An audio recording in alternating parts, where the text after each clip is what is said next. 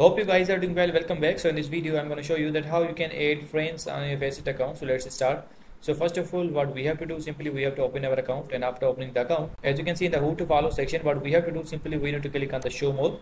And after clicking on the show more, as you can see, different type of accounts are provided here. And now you just need to choose that whom you want to follow or whom you want to send your request.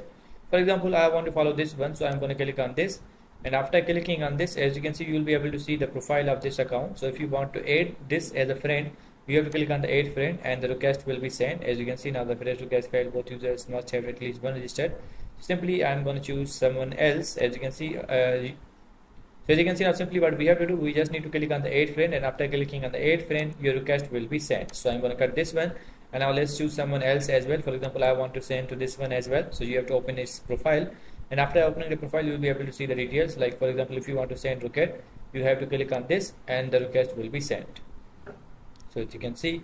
Now you can check out the all details here. So in this way you can send the request or you can follow as well. So i hope you guys understand this video that how you can send the request or how you can follow to someone and Faceit.